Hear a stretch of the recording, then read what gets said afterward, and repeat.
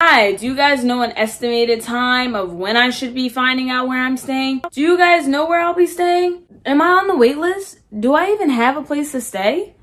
Or...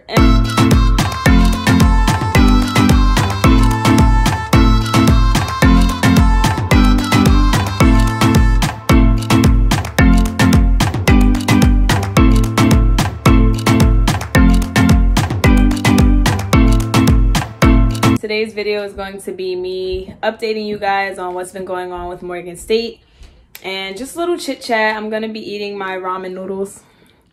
This isn't a mukbang or anything. I feel like you got to have like a whole bunch of food or something for that. So this isn't that, but just a little chit chat. Um, before we get into this video, please like, comment, and subscribe. I'd really appreciate it. And let's go. Alrighty. So Morgan State a lot of people told me that going into an HBCU, a lot of things would be delayed and that sometimes they take a while to get back to you. Just all kinds of things. And boy, is that true. I have really been experiencing what that feels like. Let's start off with the fact that I have been classified as a sophomore. I took 33 credits at Seton Hall University and 30 of them transferred over to Morgan. I was so happy when that happened because I was not trying to retake classes that I put my hard work into. The only class that didn't transfer over was my religion class, and that's because Seton Hall is a Catholic school.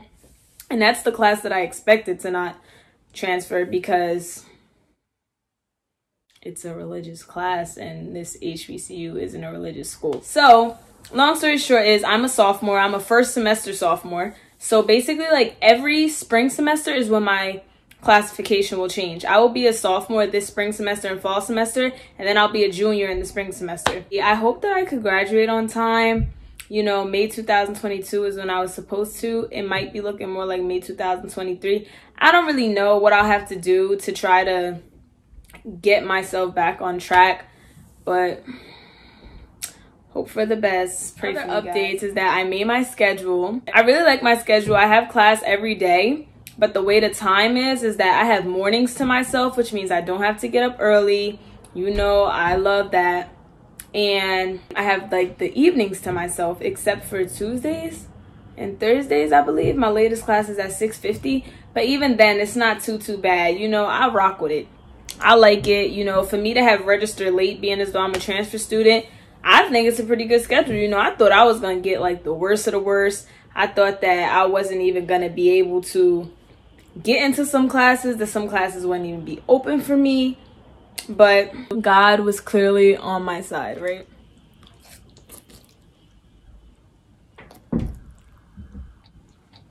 thumbnail or nah but let me tell you guys the problem right now with morgan state is that i still do not know where i'm staying I've been told that you move in January 19th. That's when all the students come back. So that's like the move-in date that I have plan, but I don't have anywhere to move into.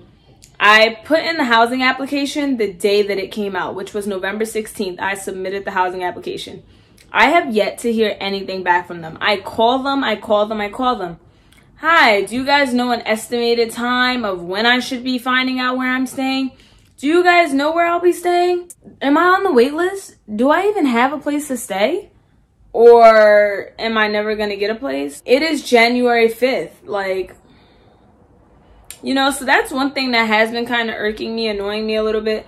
Especially because I'm a person who likes to plan things ahead and I like to know what I'm getting myself into. You know, I haven't even been able to like start really shopping for my dorm for real because I don't know what it's gonna look like. Even though I'm sure a lot of them are kind of designed similarly, I just like want to know where I'm staying at. You know, I've heard about Blount I've heard a lot about Blount. A lot of people have told me about Blount and that they have a bad rep. And I'm scared. I feel like I'm going to end up being in there. And there won't be anything I could really do about it. But, mm, them communal bathrooms, though. Mm, mm. This is why I need to know where I'm staying now so that I can mentally prepare myself. They can't throw it on me the week of. They can't do that to me. But I mean, it's been, you know, cool. It's not too, too, too many updates. It's just like a few. I really am excited. you know, it's since the time is approaching and it's like less than two weeks left, I have been getting nervous. Nervous in a sense like, wow, this is really about to happen. Like, I'm really about to leave the nest. I'm about to leave. I cannot believe this is happening. The thought of it scares me. Like, will I be homesick? You know, I'm sure that I'm gonna make a lot of friends, but like no one fills that void of family and the people who you've been around all your life you know. I've never really left the nest. I've never taken a leap as big as this ever. So it's gonna be new for me you know. I have been getting a little emotional lately. I get triggered easily um just the thought that like i'm really going to be leaving. And you know the people i'm leaving behind i'm not gonna cry but I just get emotional talking about it. But like I said, I'm really excited. I look forward to it. It's just, this is like such a big change for me. And I just want to be mentally ready. But I feel like I'll never actually be ready until I have no other choice but to be. So that's basically that. I am excited though. I don't I don't want you guys to think that like my mood is like low. That's not the case at all. I just have been thinking like the time is coming. I'm getting nervous. I'm leaving everyone. You know, I feel like that's normal feeling.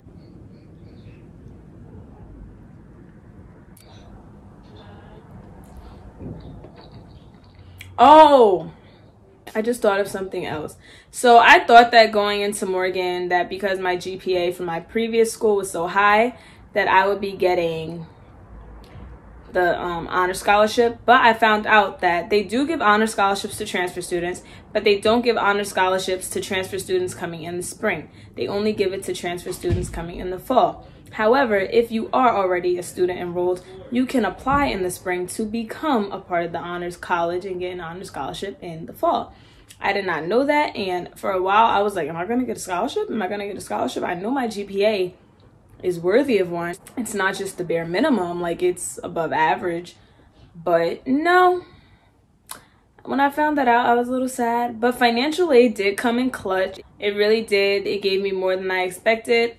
Not too much is coming out of pocket, but this semester, you know, because I am a transfer student and I'm not involved in anything right now, this might be probably the most expensive semester that I should have all my college years at Morgan because I do plan on becoming a cheerleader, like I said. So I plan on getting a cheerleading scholarship mixed with the fact that I want to get in the honors college because I do have plans to maintain my great GPA because you know, your GPA from previous schools doesn't transfer with you. They use it to decide whether they're going to accept you or not, but it does not transfer over. You start from the ground up. I plan on having another great GPA and getting into the honors college. So I pray that next semester I have other things that's going in in addition with my financial aid that makes the out-of-pocket expenses much cheaper. So now I'm being extra. But yeah.